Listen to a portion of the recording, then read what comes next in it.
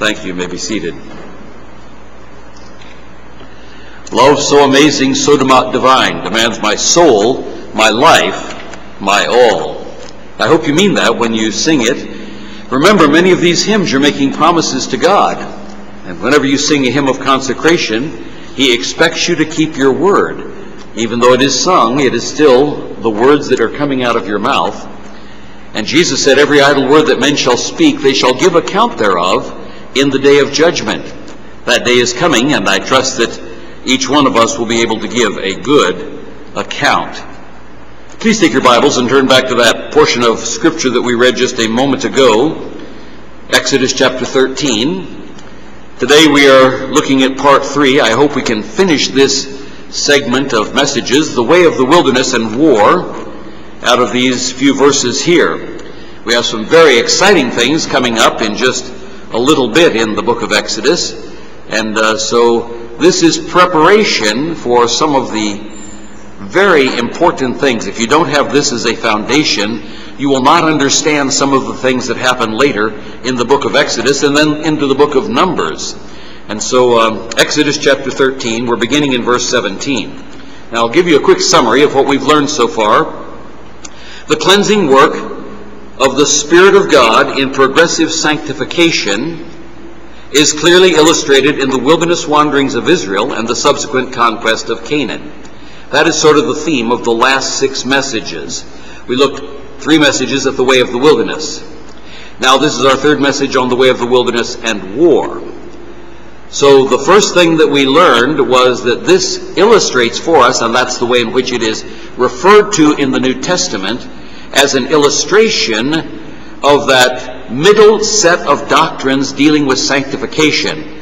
That is, progressive sanctification, practical sanctification, experiential sanctification. What we're going through right now as we live our lives, going through this world, which is like a wilderness. We've already studied positional sanctification. That's our position in Christ, where God chose us as His people now in the New Testament, as He chose Israel in the Old Testament. That is that choice where they do not lose that position and love of their Heavenly Father, that is the same type of thing that we experience today. That illustrates positional sanctification. What we're studying now is progressive or practical sanctification. How does it work out in time and space as we live in this very evil world, this wilderness? And part of that is learning to walk by faith. Part of that is learning to do spiritual warfare.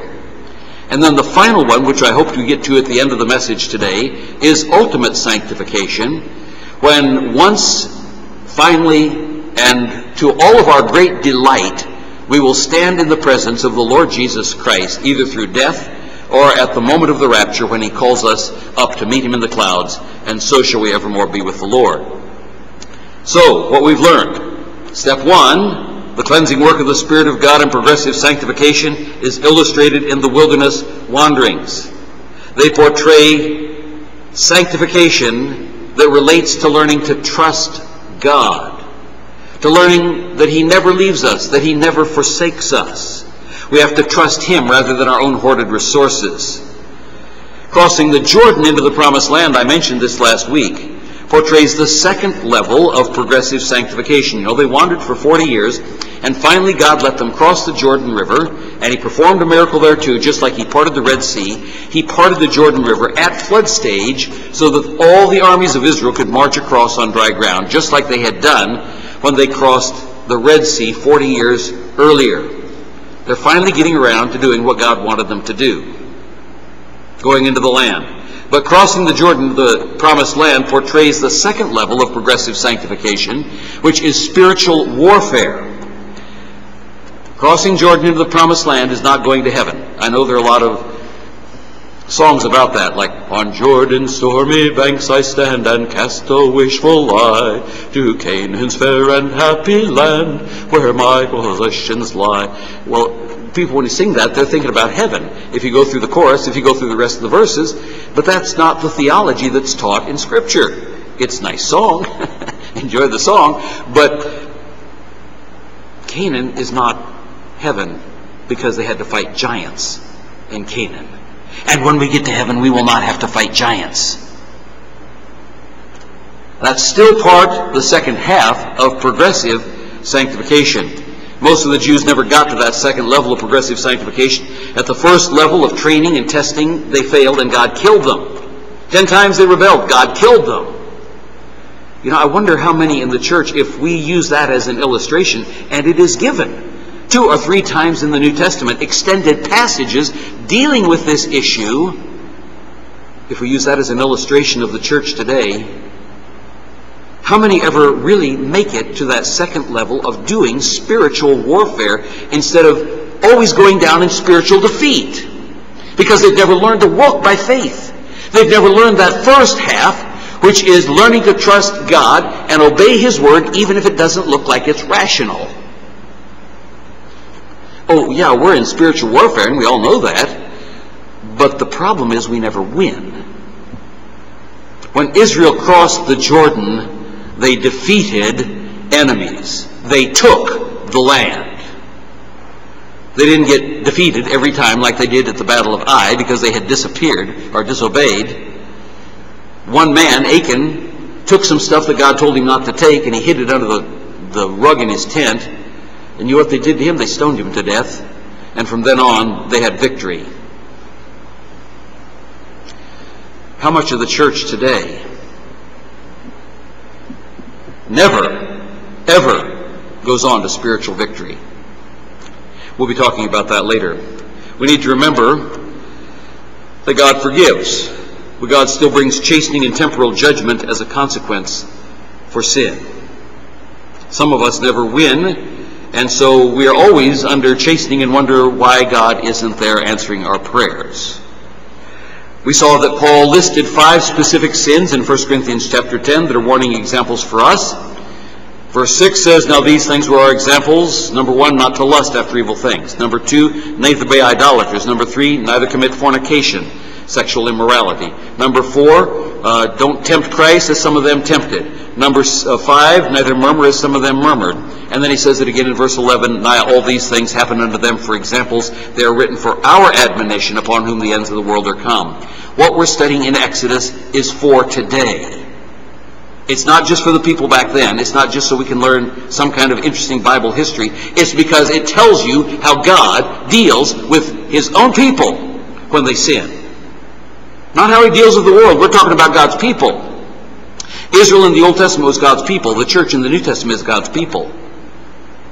How does God deal with his people? These are our examples. Learn the lessons because God will apply the lessons. Did you know that every time you listen to me preach, now I know some of you will say, man, I'm never going to come back there again. But every time you listen to me preach, God holds you accountable for what you've heard. Did you get that? Every time you hear me preach, God holds you accountable for what you've heard.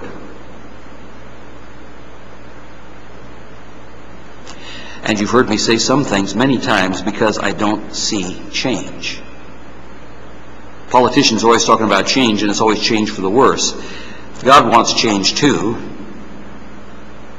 Metamorphosis is the word that is used, the metamorphosis of your mind in Romans chapter 12, verses 1 and 2. God wants change. He wants change for holiness. He wants change for obedience. He wants change for faith, learning to trust Him when it seems to be irrational in terms of the world's concept of reason. You are held accountable for what you hear. Be careful. Someday God will say, Did you obey what you heard from my word? Not because I said it, but because it's in the Word of God. Between one half and two thirds of every sermon is me reading scripture text and then making brief application but it's God's word that does not return unto him void. It is God's word that will prosper in the thing whereto he sent it. Ah, dear people, these things were written for our examples. Those are the five sins. They were summarized by one specific category of sin that we saw over in Hebrews chapter 3, which is the failure of faith. The failure of faith. Your fathers tempted me and proved me. It was in the provocation, 40 years. They always err. They have not known my ways. because they had an evil heart of unbelief in departing from the living God. That's Hebrews chapter 3. Harden not your hearts is in the provocation. It's for us. Don't do the same thing that they did. Hebrews 13, 15. For some, when they had heard, did provoke. What happened to those who sinned? Their carcasses fell into the wilderness, verse 17. Why didn't they ever get to enter into the promised land and have rest? He swore that they should not enter into his rest, but to them that believed not, so we see they could not enter in because of unbelief. When you do not obey the Word of God, it proves you do not believe the Word of God, because genuine faith always results in obedience and works of righteousness. We saw that was a clear illustration of the point of no return principle. Only two guys made it, Joshua and Caleb. The rest of them didn't. They had reached the point of no return.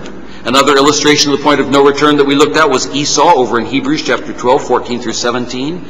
He thought he could get away with it just one more time of disbelieving God, disobeying God, just one more time.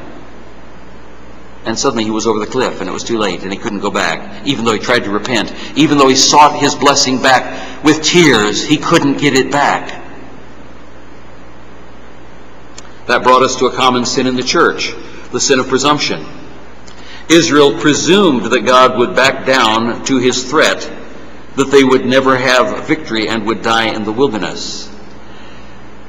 It's an illustration for us. Remember, if a Christian pushes God too far, the same thing happens to the Christian. He never gets victory and he dies in the wilderness.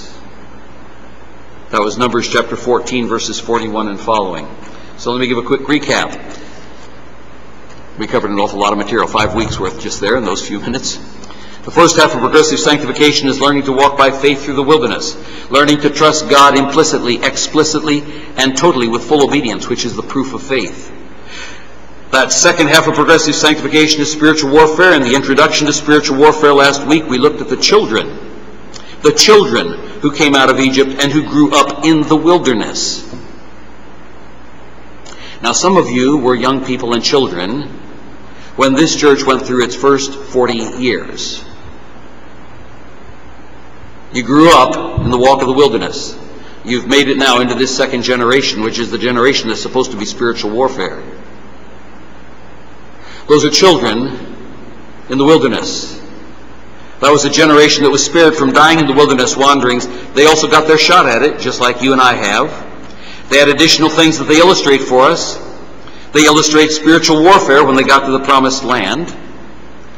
We saw that in Scripture a generation is 40 years, and we're past our 75th anniversary in this church, haven't quite reached 80 yet. The question will be at the end of that 40 years, will we have failed our tests as a church? Like that generation failed in the wilderness, and the second generation failed in their conquest of the land.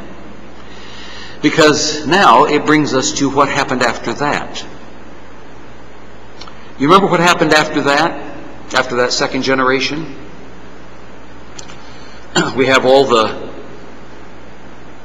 Moses and all the elders that outlived him, and Joshua and all the elders that outlived him.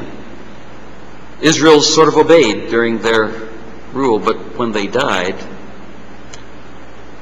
we enter the period of the judges, and we suddenly discover that in Israel every man does that which is right in his own eyes. I think we see that going on in our society today. You can track it in American history too. You can track it in this church. Every man does that which is right in his own eyes. And what did that ultimately lead to? That ultimately led to the Babylonian captivity, the Assyrian captivity for the northern ten tribes. It led to bondage and enslavement. It led to the destruction of Jerusalem. It led to the intermarrying and intermingling of the people of God with pagans, producing the Samaritans.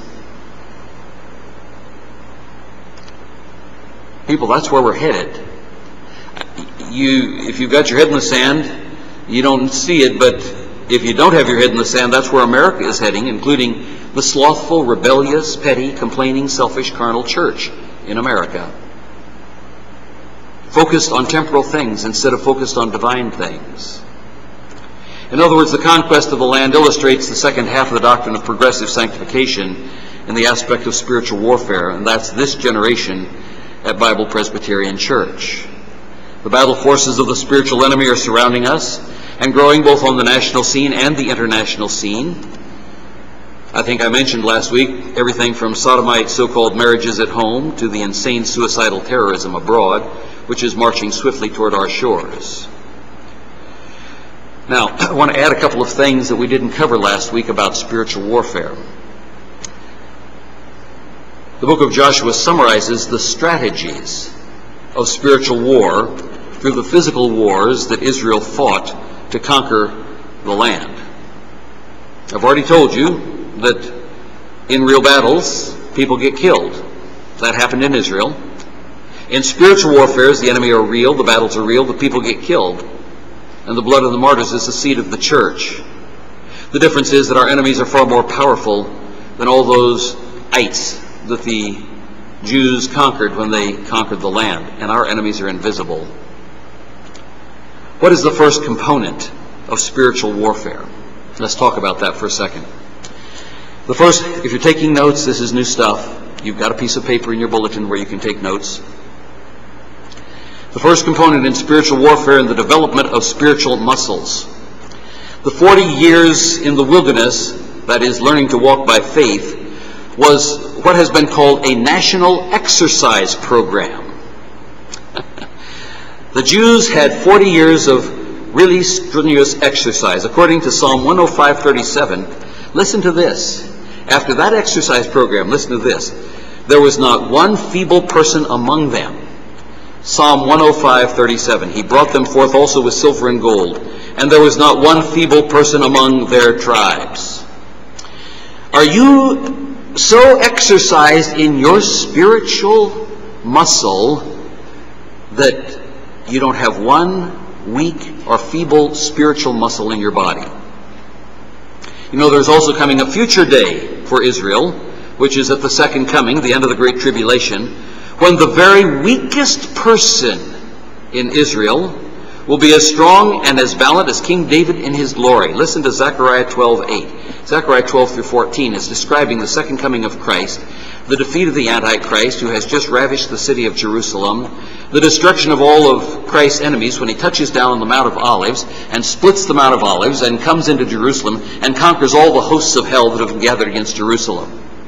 This is in the middle of that. Zechariah 12:8. In that day shall the Lord defend the inhabitants of Jerusalem and he that is feeble among them at that day shall be as David. And the house of David shall be as God, as the angel of the Lord before them. God did that for them in the wilderness. God's going to do that for them again when Jesus Christ comes back at the second coming.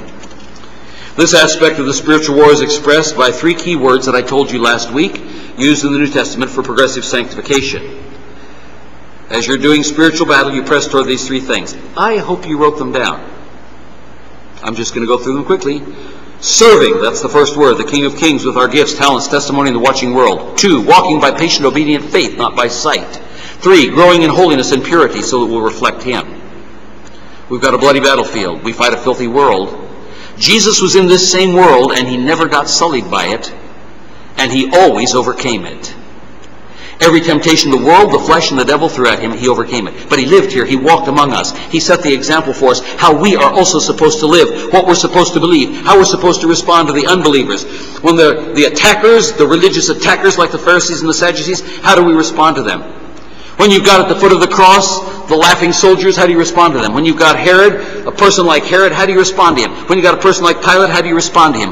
When you've got a person like the woman at the well, how do you respond to her? Or the woman taken in adultery in John 8, how do you respond to her? Do you do it with gentleness? With kindness? Or do you do it with sneering and scorn? With accusation? Jesus lived in a world filled with sinners, yet he himself was without sin.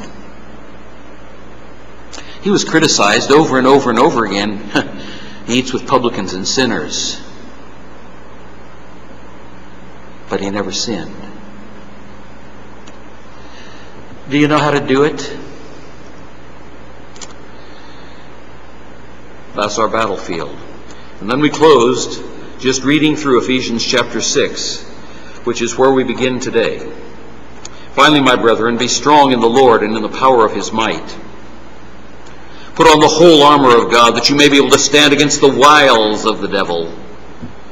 The devil's never straightforward. He's a treacherous, deceitful trickster. For we wrestle not against flesh and blood, but against principalities, against powers, against the rulers of the darkness of this world, against spiritual wickedness in high places. You're not wrestling against some kind of Mickey Mouse demon that's on a cartoon.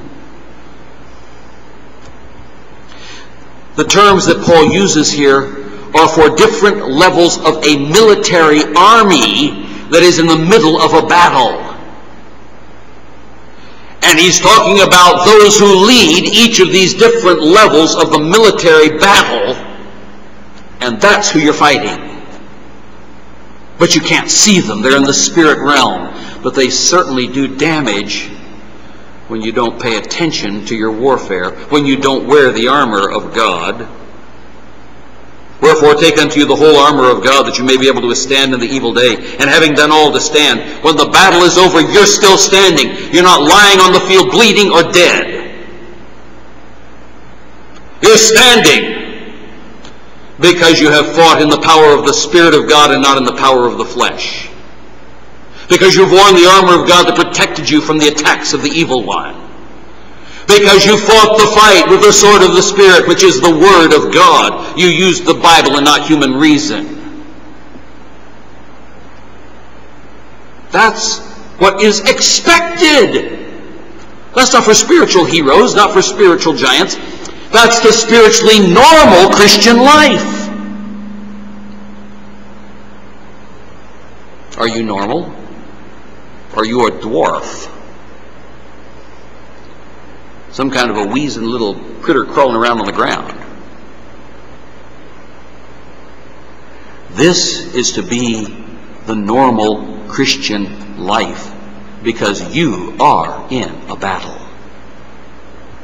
What are you doing? To fight for Christ. Stand therefore, having your loins girt about with truth, having on the breastplate of righteousness, your feet shod with the preparation of the gospel of peace. Someday I'm going to preach through this passage and talk about each one of these pieces of armor and why it is so significant. The Lord willing, I hope. Above all, taking the shield of faith, wherewith you shall be able to quench all the fiery darts of the wicked. Take the helmet of salvation, the sword of the Spirit, which is the word of God. Praying always with all prayer and supplication in the Spirit. Watching thereunto with all perseverance and supplication for all saints, not just for yourself. Most of us only pray for ourselves. If you divided up your prayer time and counted how many minutes you're praying for yourself versus how many minutes you're specifically praying for other people, not just, Lord bless all the missionaries in the world, hope they're okay. But most of the time we're praying, God, I need more money. God, I need this. I want you to heal me from this. And God, you know, I've got a mortgage payment coming due. And uh, God, I got a dent in my car. And uh, Lord, you know, I think I've got an ingrown toenail. Maybe I'm getting athlete's foot too. Yeah, that's the kind of stupid prayers we pray, isn't it? We focus on ourselves. What does he say here? Praying with all prayer and supplication in the Spirit, not carnal, and watching thereunto with all perseverance. You hang in there, and supplication for who? For all saints. Now, you're not praying to saints, you're praying for saints. Now, the, the doctrine that says that the only ones who are saints are the ones who are in heaven who got canonized by some organization, but that's not biblical saints. Did you know that Paul wrote to the church at Corinth, which was filled with all kinds of wickedness and carnality, to the saints which are at Corinth? You go through the whole book and you won't find anybody there who got canonized. Nobody who got exalted, nobody who got beatified, uh, nobody uh, who had done you know miracles after death and all that kind of stuff. You see, what are we talking about? The doctrine of sanctification as we're going through our studies, the three levels of sanctification.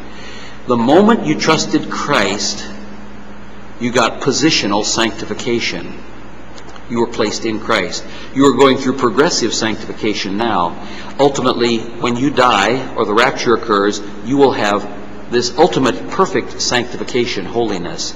You don't have to be chosen by some group of men wearing funny hats and red clothes, or canonized by some guy with a little white beanie and a white robe. That's not in the Bible. The Bible is the final authority. The Bible is the final authority. If you've trusted Christ, you are a saint. You might be a sinful saint, but you're a saint. But you have to deal with it the way God says to deal with it.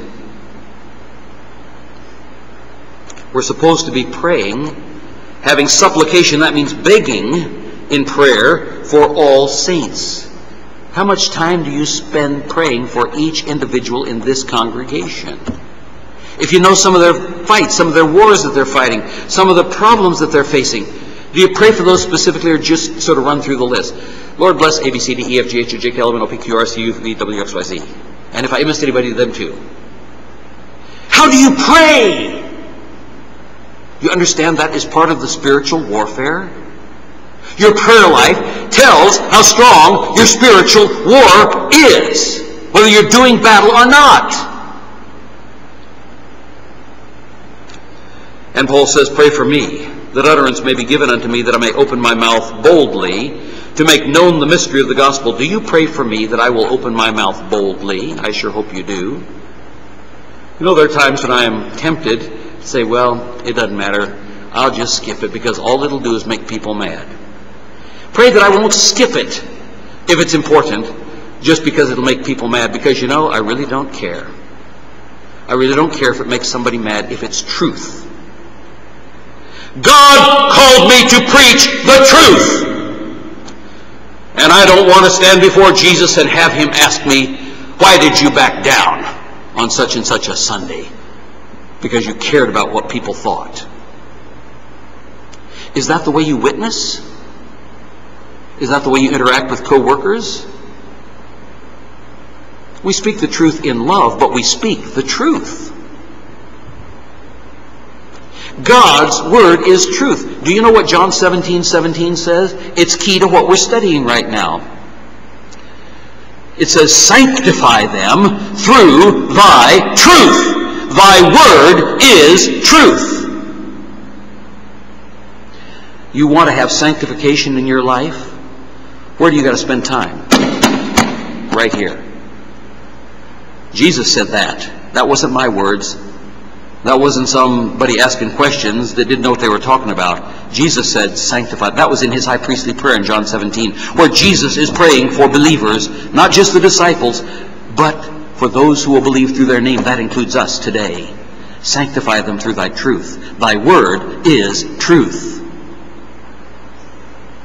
How much time do you spend in the Word of God?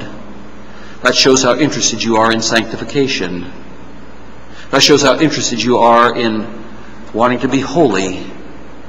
And God commanded, Be ye holy, for I, the Lord your God, am holy. How much time do you spend in the Word? How much time do you spend in prayer? Can you think of anything more important than those two things?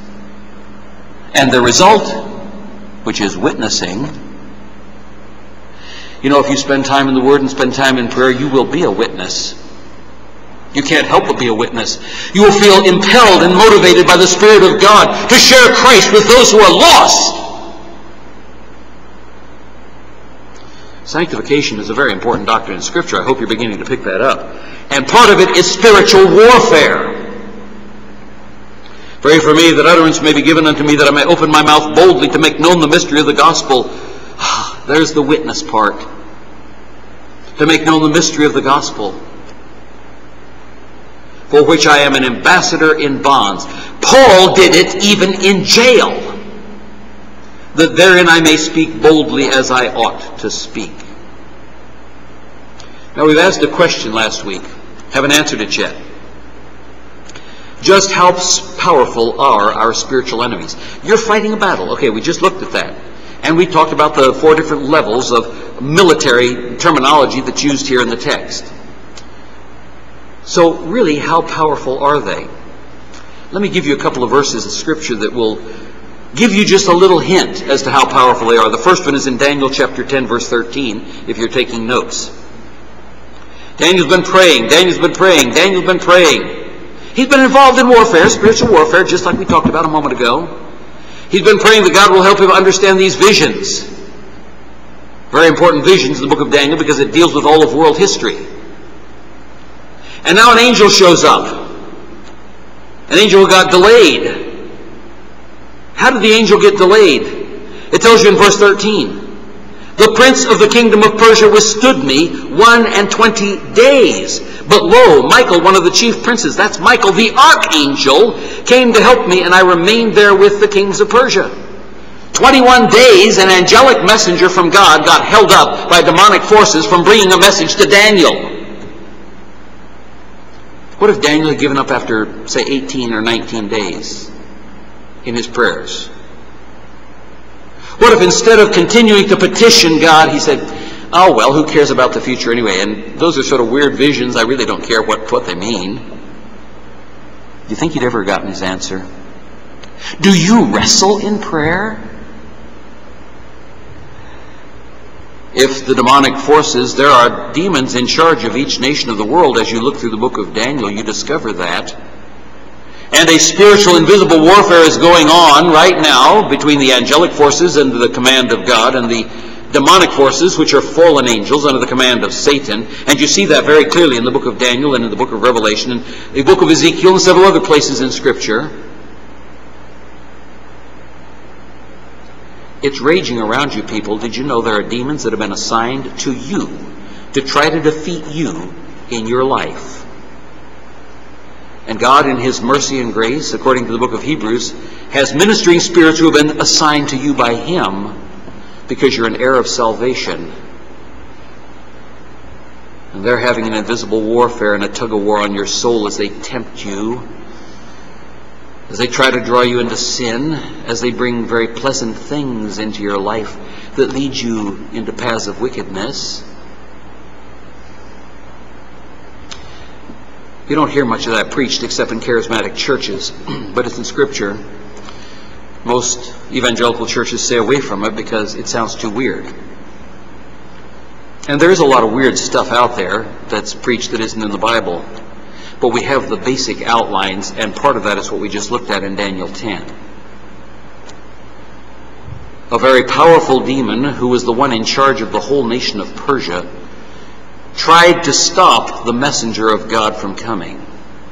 And he withstood him for 21 days until Michael the archangel came and broke open the way. Look at chapter 10, verse 21. Now he says, I will show thee that which is noted in the scripture of truth.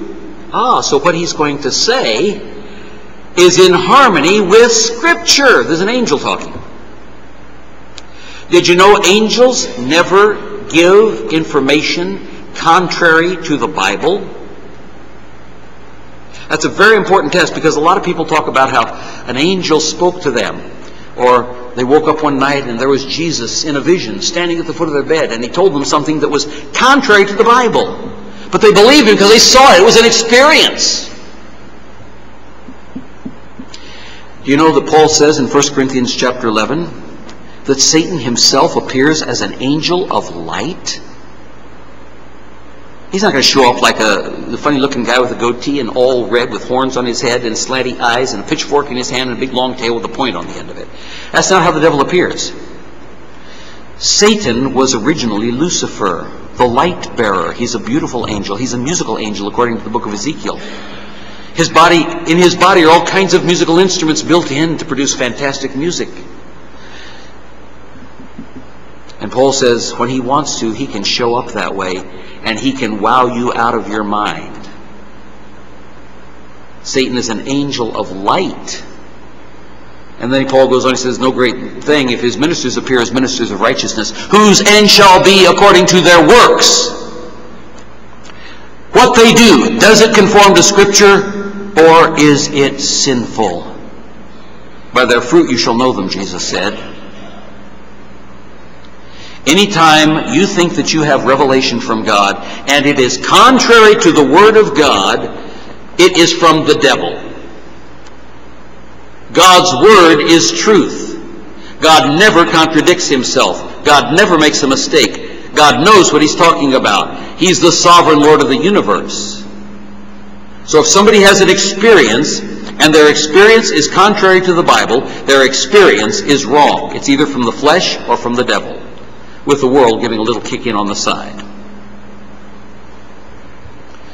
Don't forget it, people. We live in an age where the evangelical church is going into the charismatic movement like mad. Anyway, moving on.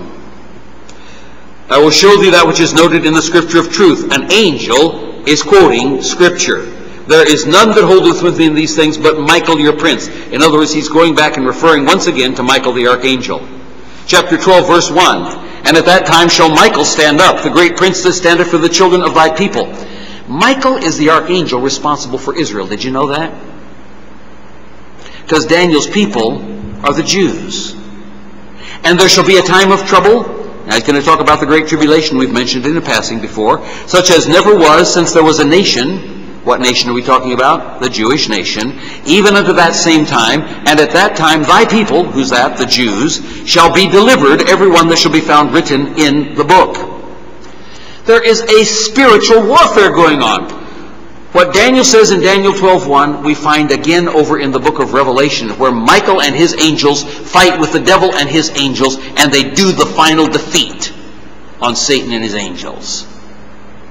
That warfare started all the way back in the Old Testament, and it extends all the way through to the book of Revelation in the New Testament. Jude 1 9. Here we find Michael again. And we find him arguing with the devil. But even Michael is very careful because Satan is so powerful. We're talking about how powerful are your enemies. Jude 1 9.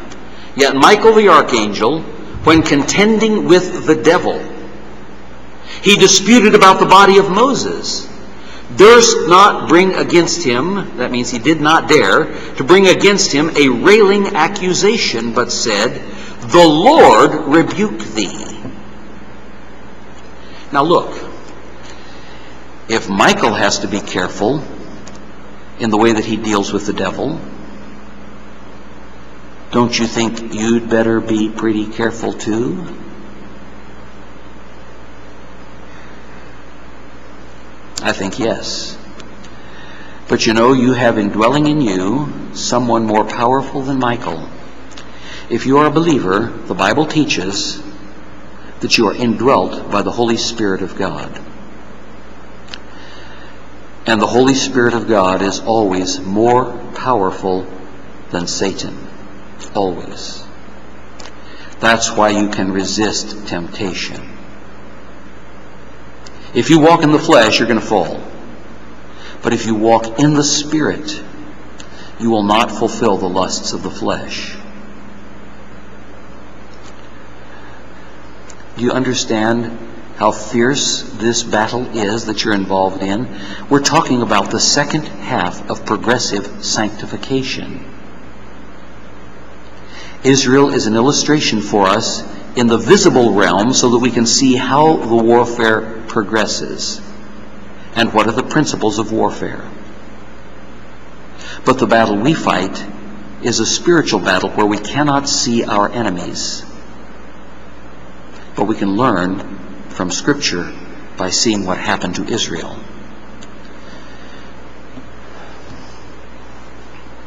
Michael the archangel, when contending with the devil, he disputed about the body of Moses. You know, Moses didn't die what we call a normal kind of a death.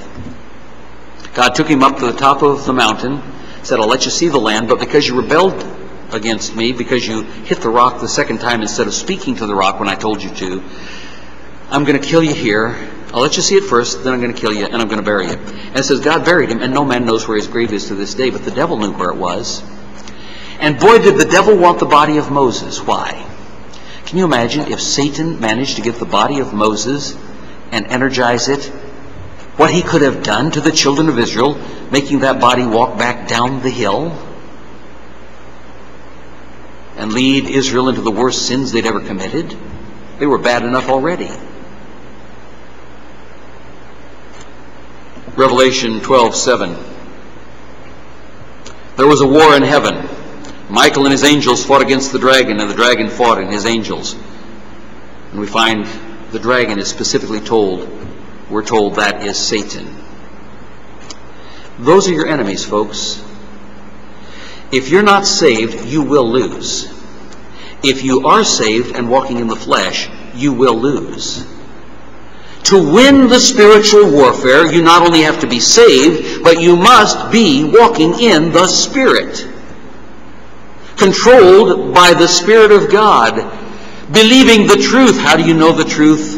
Sanctify them through thy truth. That is, set them apart. That's practical sanctification. Sanctify them through the truth. Thy word is truth. You need to study your Bible. You need to be engaged in prayer. Not just for yourself, with all the petty carnal things that we pray for every day, but for other believers too, because they're your co-soldiers. They're your comrades at arms. They're the ones who are praying for you. There is strength in numbers when we pray one for another, when we pray seriously. Ultimate sanctification. Okay, didn't get as far as I wanted to, but let me give you a final summary. Practical or progressive sanctification is contingent upon the regular daily intake of the Word of God.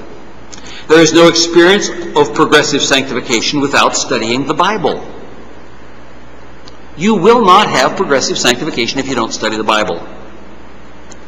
That aspect of sanctification relates to the experience of the believer in the world. I'm giving you some new things here. Here's four things. You need to write them down. Four steps to progressive practical sanctification are these. The four steps. Number one, the race begins in progressive sanctification at salvation. Right at that moment, you are put into Christ. That's your positional sanctification. But that's also the starting gun for the race of progressive sanctification. It begins at salvation when the believer gets his positional sanctification and starts his new walk as a Christian. That's Ephesians 1. Number two, it should be followed shortly thereafter. Just as soon as you learn it, and you people have heard me preach this before, so you know it. I hope you've done it. It should be followed shortly thereafter when the believer presents his body as a living sacrifice to Christ to be used for God's designed purposes and not for the flesh. You have to present your body. This is Romans 12, 1 and 2. I beseech you, therefore, brethren, by the mercies of God, that you present your body a living sacrifice, holy, acceptable unto God, which is your reasonable service. And be not conformed to this world, but be ye transformed by the renewing of your mind, that you may prove what is that good and acceptable and perfect will of God. Do you want God's perfect will for your life? If you've never presented your body as a living sacrifice, you will never know the perfect will of God in your life. Because that is the first thing you have to do to get to that point. That means your body doesn't belong to you. And you are acknowledging it. That it belongs to Jesus and that you only want to use your body for things that please Him. Forget all the lust of the flesh, the lust of the eyes, the pride of life. You want your body to please Jesus. Not just your spirit to please Jesus, not just your soul to please Jesus. You want your body to please Jesus. That's experiential or practical progressive sanctification. But you've got to do that. That's number two in the list. Number three. Progressive sanctification continues and grows as the believer studies the Bible and walks by obedient faith according to the Word of God. Practical sanctification continues and grows as the believer studies the Bible and walks by obedient faith. Oh, remember those two words obedient faith. Not theoretical faith, obedient faith obedient faith according to the Word of God. That's John 17 and verse 17. Number four, practical sanctification is hindered by sin. Practical sanctification is hindered by sin, and it only gets back on track when we confess our sins. And it only gets back on track when we confess our sins. you stop dead in your tracks, and you can have gone three quarters of the way around and you don't reach the finish line if you stop dead in your tracks, if you sin and you don't confess it. If we confess our sins, He is faithful and just to forgive us our sins and to cleanse us from all unrighteousness.